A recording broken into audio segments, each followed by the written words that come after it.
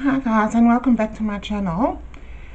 Um, due to a lot of requests I've decided to do a bigger canvas with these hair catchers. If you stick around until the end I'll show you exactly what they are and give you a closer shot really of what they look like. Thank you very much everybody for subscribing, liking, giving um, your feedback. it's always appreciated. Now I must say, um, pretty excited about this, although I'm also hoping that it's going to turn out well.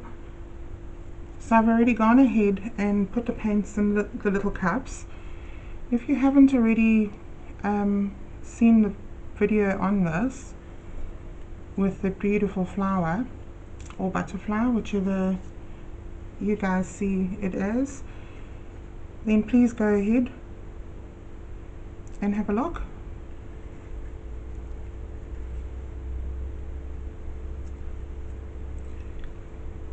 So what I think I need to do is all pour all three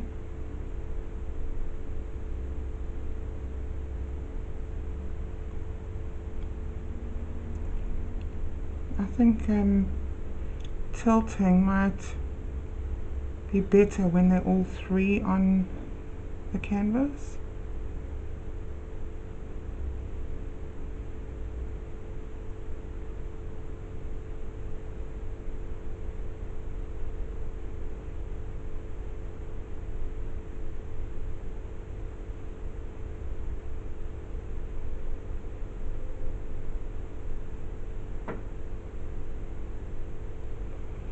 So I've put a bit more white in here because um, if you remember the previous video I did add some more white at the very end.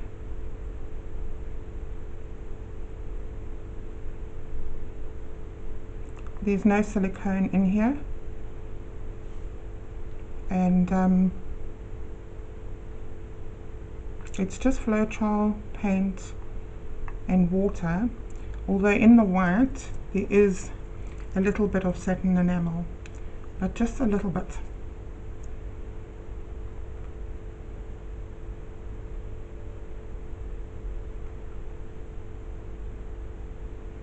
Now I haven't put a base down on the bottom this time. I'm hoping that um, it's going to give the same effect. Or what I'll do is on the third one I'll put a base down just to see how different what if it gives a different effect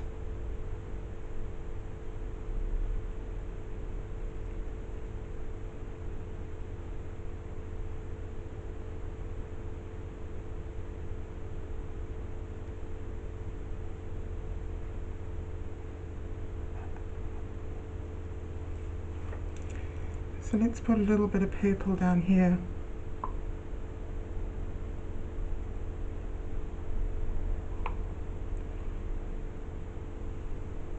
And then just smush it around so it's not all just sitting on the top and doesn't have a, a blank spot. So I kind of want this one to be a little bit off.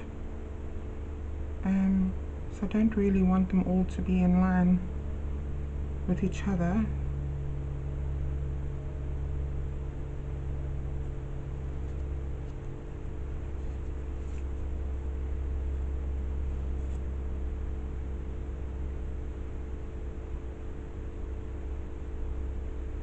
I will show you a b-roll clip of my previous attempt of this with the three where I felt it was a fail.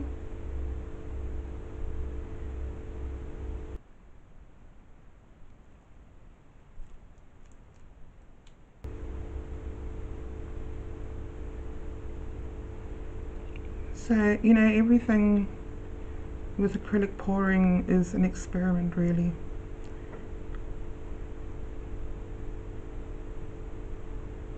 And it's what you like. If you if you like what you've created, don't scrape it off. Somebody else will like something that perhaps you don't like. I always feel that art is in the eye of the beholder. As I mentioned previously you want to leave it sitting for a little bit and then lift it gently you'll feel a little suction. Leave it there for a little bit so that uh, the paint can drip.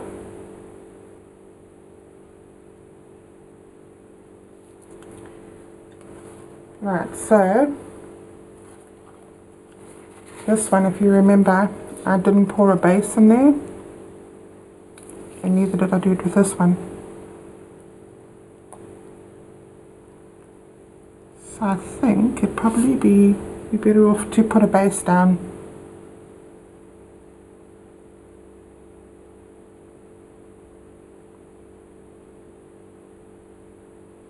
What I might do is just add a teeny bit of paint to the center.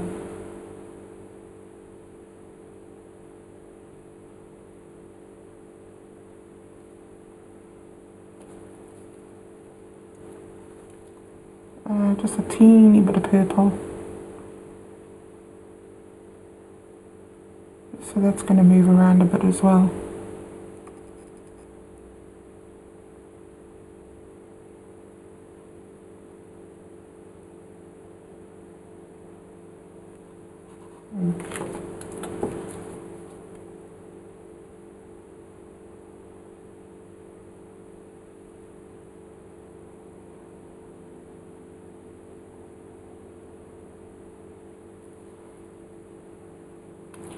So it's still looking very pretty. You can see the effects already. I think with this one I might add a little bit more white like I did previously.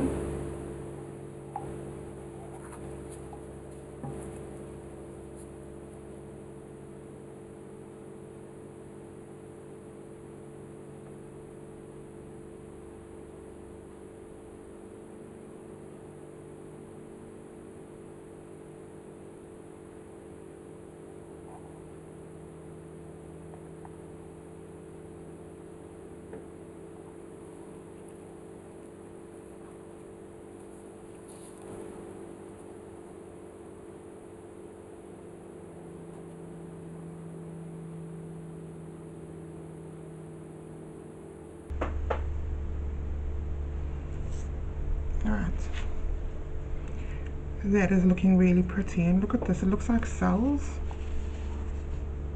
So I'm going to be tilting this very, very gently. Because again, I don't want to lose that effect. and if you saw my last video, of course my head was off with the fairies. I think what actually happened there was um, my when I was turning it and turning it like that, my head got mesmerized, which is funny. But yes, these things happen, but it still turned out very nice.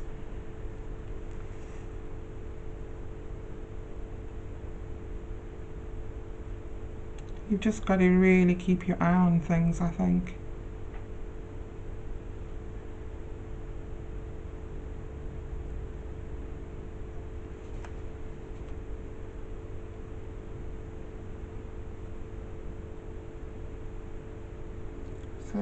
We just try not to over tilt.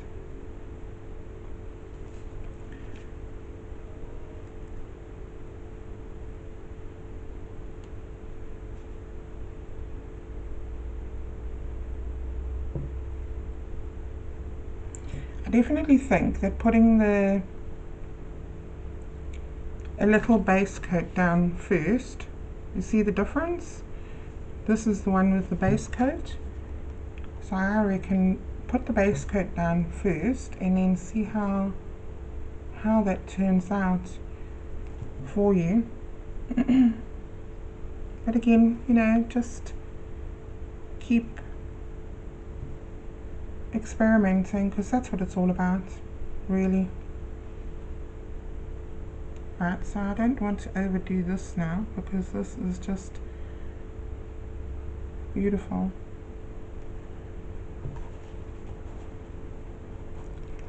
And what I'll do is um, I'm just going to pull this paint out a little bit so it doesn't look all weird in one spot.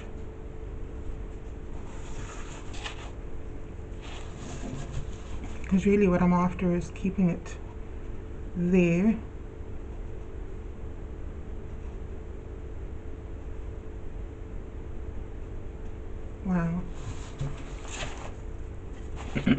again I think this is, is very pretty So if you have the patience, just pull the paint out a little bit. The paint will move around to some degree. So I think, you know, I'm not going to waste your time and sit here and do all of them. I'll just do this one. So you can see what the effect is.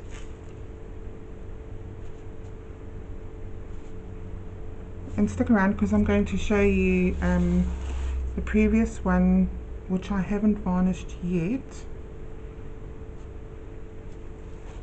So that actually looks really pretty because um, you can see the the edges they're quite jagged. So I will off camera do the rest of those edges not too sure if you guys want to sit watch me doing edges but the detail in this is phenomenal. So, um, guys, I'm going to show you this one.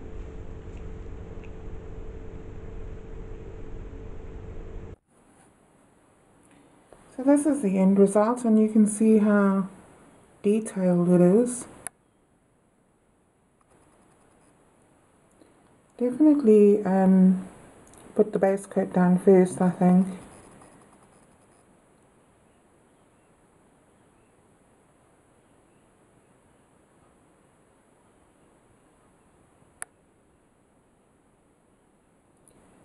You can see how I've pulled the edges out so that it can just not be so round and flat.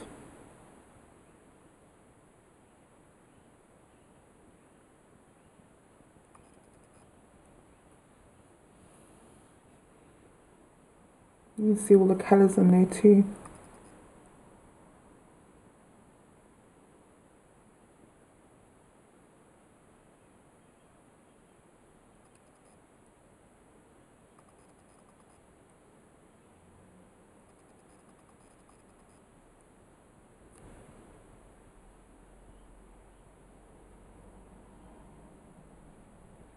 Thanks guys, thanks for watching.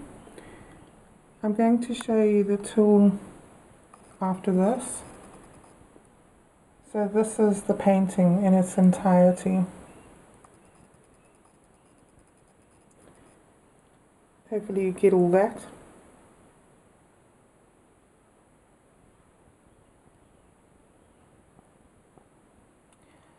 This size is a 12 by 16 inch canvas.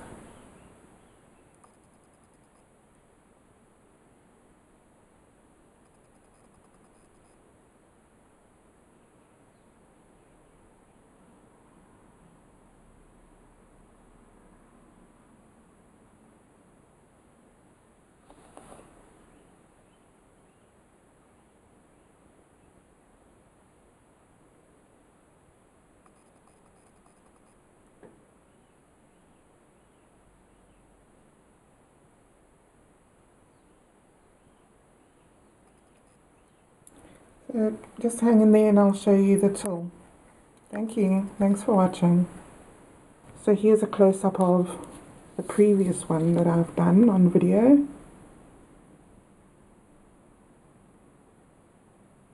So that's all dry. You see. I just haven't varnished it. The detail in there as well.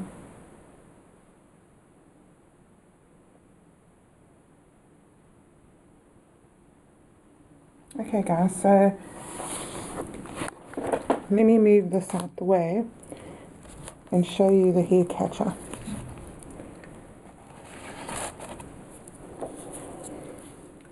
I'll give you a closer shot.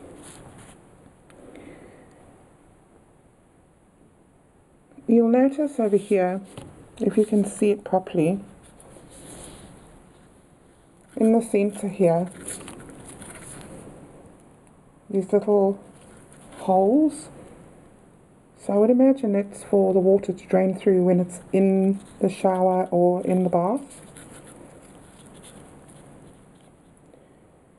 I don't pour the paint through there because I don't want the paint sitting and just coming out the one end and then there's, there's two teeny holes on either side if you can have a look if you can see that So that's the other side.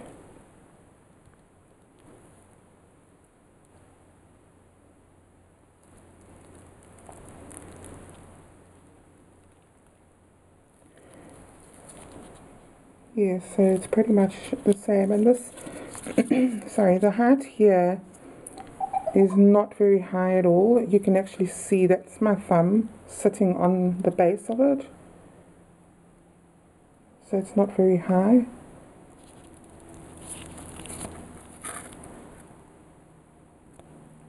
Okay, so here is the packet.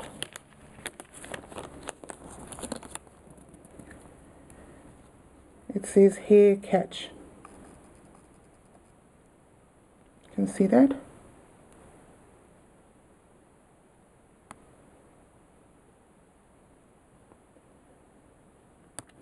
Alright guys, thank you very much for watching and I hope that this was helpful to you.